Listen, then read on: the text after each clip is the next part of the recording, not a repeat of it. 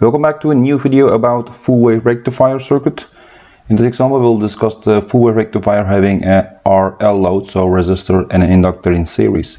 We will see that step by step shortly in our calculations and also verify this in MATLAB Simulink simulations. So what we have is the following. We have again the, our bridge configuration of our, of our full-wave rectifier. This is the source signal, AC source, and here you see the series combination of R and L.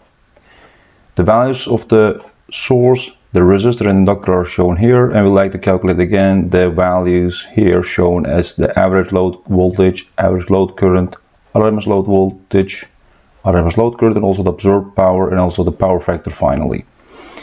So before we move on, again we look at the waveform for this circuit. The Vs is given as a pure sine wave, again in the parameter omega t instead of t and we see here the VO which is our load voltage and the IO which is our load current and you see that the load voltage again the absolute value of our load uh, I mean the source voltage but load current is also in the same shape but just a little bit shifted up because of that inductor action. We will see that also that this is happening in the simulation results. Okay, let's now look at the calculations. Again, we designate our source voltage by the omega t parameter, and here is the VM are 170 volts, that's the amplitude, and the omega is 120 pi radians per second. Okay, first one is the average load voltage, that is again given by this expression, because the integration is now from 0 to pi for our VO, because the period also has decreased from 2 pi to pi, that is this general formula we have discussed also brief uh, previously and we now also know that VO is equal to Vs because the we just substitute now everything in here also this one that will be now given in general form like so and that results in this form formula we also have seen in the previous example where we had here a resistive load. Now when you do the calculation here you get now exactly uh, the same as before so which is 108.2 volts. The average load current will be again using Ohm's law in this case we have 10 ohms and that will give us 10.82 amps. So just divide this by 10 that was easy. Now looking at the load voltage and load current more in detail here we can say that the full wave rectified uh, voltage at the output so for the load can be expressed using Fourier series and that has a DC term and a lot of AC terms, in this case only the even harmonics. Now it can be given by this expression mathematically VO here is our DC or our average value of our load voltage. And here the summation of all the AC terms, in this case you see here 2, 4, 6, so you only use the even harmonics. So this part is for DC, and the all other parts are for AC terms. Now in this case, as said before, VO is 2 Vm over pi, and the VO comma N are the amplitudes of the harmonic. So that is actually what you see in front of this cosine. And that is given by this expression. Again, we leave the details out how you determine this, but this is what we will use in our calculation. So you need here the n, which is our uh, number of the harmonics. So in, if you have n is 2, that means you have the second harmonic, or the, the harmonics for, let's say for the AC terms, the second harmonic.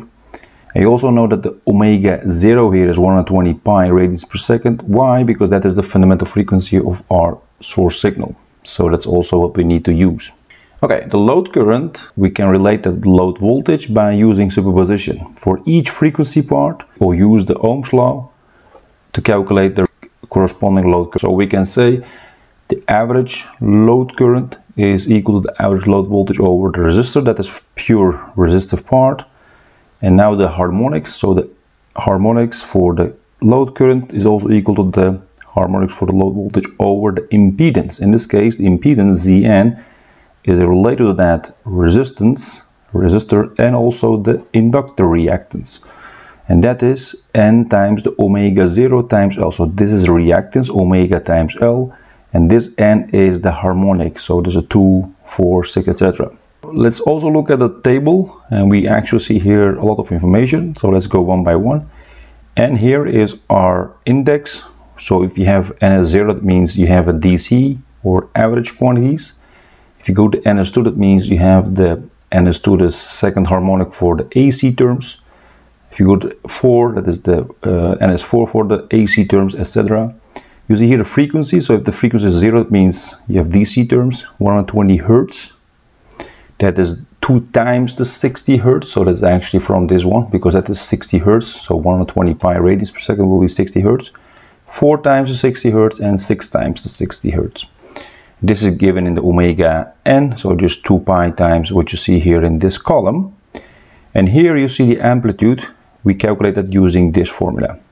So using this formula, we can calculate here, actually the columns, only this one is calculated using the calculation we have done in uh, question A. So this is only, the first row is only DC part. Now what you see is that this will be then 72.15 if n is 2. So you just substitute here n is 2 and also Vm is 170 volts, you get actually 72.15. In similar way for n is 4 and n is 6. The RMS value corresponding to this amplitudes is just divide this harmonics by square root of 2. So each harmonic is considered to be a pure sine wave. You just can uh, divide this by square root of 2, you get this one. The Z, the impedance column, is also really straightforward. You just substitute here 10, so you get 10 squared. Plus in the quantity, you get N times the 120 pi times 0.025. That's actually 25 millihenries. Also quantity squared. And this N, the N will change here. So the N is, in this case, 2. And the next one is 4. And the next one is 6. So you can also go on to 8, etc and then take the square of this summation and that will give you now 21.34 and the next one will be 39 and the next one will be 57.43 now the calculation of the harmonics for the load current is really straightforward since we know the amplitude here for the load voltage harmonic and also the impedance so you do harmonics load voltage over the impedance you get actually the values here. So only again looking at the uh, NS2, NS4, and NS6 because this is all DC, but this is also calculated because you know that Zn is for DC 10 ohms because that is pure resistive, so we don't have to bother about this inductor. So then you need to do, for example, if I make one example, will be then 72.15 over 21.34 will be then this number. Again, this is the amplitude of our load uh, current harmonics. You need to also divide this by a square root of 2 to get the RMS value. Okay.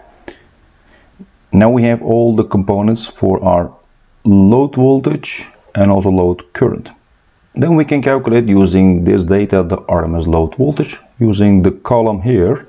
So we have the DC quantity and also the AC terms here. So the formula for that is using this column is given by this. You have the average load voltage squared plus the quantities for the amplitudes in RMS for our harmonics, each squared. So you add them up and you actually get then the complete load voltage RMS. Of course, you need to take infinite terms for the harmonic, but I stopped actually at the NS6 because after that value of ns8 etc this value will be really small so the contribution is also really really small so I actually stopped here. In a similar form you can go for the RMS load current taking the column here and again the square root of the load voltage a load current I must say DC plus all the harmonics each uh, squared for our RMS and what you have is then this 11.09 so we're taking these values here Okay. Okay, now taking this all together, we also have the values again here. Let's now calculate the absorbed load power that can be calculated using the RMS load current times the resistor because we only look at the pure resistive part for our absorbed load power. That is an 11.09 amps for our RMS load voltage times 10 that will give us 1230 watts the power factor final one is the PF that is given by the true power divided by the apparent power. So true power is our load power, absorbed load power. And apparent uh, power is given by the source voltage RMS times the source current RMS. And the source current RMS is load current RMS because they are in series, so that's also 11.09 amps. And the source voltage RMS is given by the amplitude of our source voltage, which is 170 divided by square root of 2. Why? Because this is a pure sine wave, so that will give us 120.2 volts. Now taking these two together in the product, it will give us an apparent power of 1333 volt amperes. Now putting that in the power factor formula, you get now here 0.9227. Okay, this is now these are now the values we just calculated. Now looking at the simulator, in the Simulink we have now our circuit drawn, the full rectifier, you see this, and also the resistor and the inductor. This is done in the Simulink using Simscape elements. This AC source is RVS, and this scope here will then uh, display the current measured here, the voltage at this which is our load voltage, and also the source voltage here. So we have here three plots. The mean block will calculate the average value, and also the RMS will be here, and it will calculate the RMS value. Let's go one by one. Our average load voltage 108.2 volts as we have calculated. Average load current 10.82 amps as we have calculated. RMS load voltage 120.2 volts as we have calculated and also the RMS load current 11.09 amps as we have calculated. So everything is checked here. Let's also look at the plots. So that's actually from the scope. The red one is our VS source voltage. The green one is our load voltage. You see again this uh, rep the absolute value of our input the source voltage. And this will be our load current. You see actually that it has a transient part and then it has now a steady state situation where you see that this is uh, almost a nice sine wave so it's actually having some peak peak value and also some average value that is also the average what we have calculated here for our load current Alright guys, this is our example considering the full wave rectifier having an RL load. If you have any questions, comments, please let me know. I will try to answer them as soon as possible. See you next time in another video. Take care.